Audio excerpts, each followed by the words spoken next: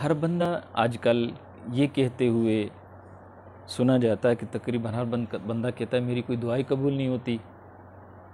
मैंने फ़लाँ दुआ मांगी, कबूल नहीं हुई। फ़लाँ जगह गया, दुआ कबूल नहीं हुई। फ़लाँ जगह गया, दुआ कबूल नहीं। फ़लाँ से दुआ करवाई, दुआ कबूल नहीं हुई। नमाज़ पढ़ने के बाद दुआएँ की नहीं हुई। वालदेन से दुआ करवाई नहीं, कबूल हुई। इस तरह लोग बात, बहुत सारे कहते रहते हैं।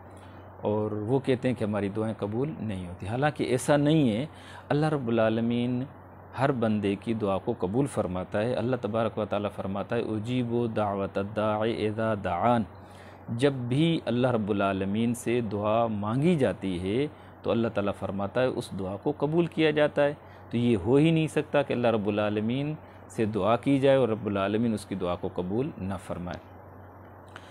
इसके साथ ये भी ज़रूर कहूँगा कि आखिर हमें अपनी दुआएँ किस तरह कबूल करवानी चाहिए? अल्लाह रब्बुल आलमीन हमारे किन आमाल से हमारी दुआओं को कबूल फरमाएगा। तो इस तरह का एक वाक़ एक हदीस पाक है सैदना मूसा नबी सलाम की। उन्होंने भी एक बार अपने रब ताला से ये दुआ की अल्तजा की, परवरदिगार, मेरी दुआएँ कबूल नहीं होती और मैं चाहता हूँ कि जब भी मैं आपसे दुआ मांगूँ तो मेरी दुआ कबूल हो जाए। तो मुझे इस तरह के कोई कलमात बयान फ़रमाएँ। तो अल्लाह रब्बुल आलमीन ने फ़रमाया कि जुलहज महीने के दिनों में ला इलाहा इल्लल्लाह, इसका विरद किया करें कि जब फिर आप मुझसे दुआ मांगेंगे तो मैं आपकी दुआ को कबूल फरमाऊँगा। फिर मूसा ने रब ताला से पूछा कि परवरदिगार, ये कलमात सिर्फ़ मेरे लिए ख़ास हैं या कोई भी शख्स ये कलमात पढ़ कर दुआ मांग सकता है?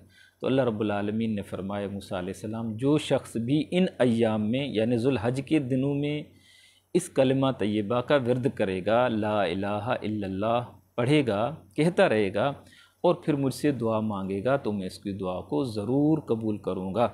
और इस कलमा तय्यबा का वज़न इतना है, इसका सवाब इतना है कि सातों ज़मीन, सातों आसमान अगर मीज़ान के तराजू के एक पलड़े में रख दिए जाएँ और एक दूसरे पलड़े में सिर्फ़ कलमा तय्यबा को रखा जाए तो ये उनसे कहीं ज़्यादा भारी होगा। तो इससे पता चलता है कि जैसे आजकल अयाम जुल्हज शुरू हो गए हैं तो इसमें क्या है, हमें इस कलमा तयबा का ज़्यादा से ज़्यादा विरद करना चाहिए।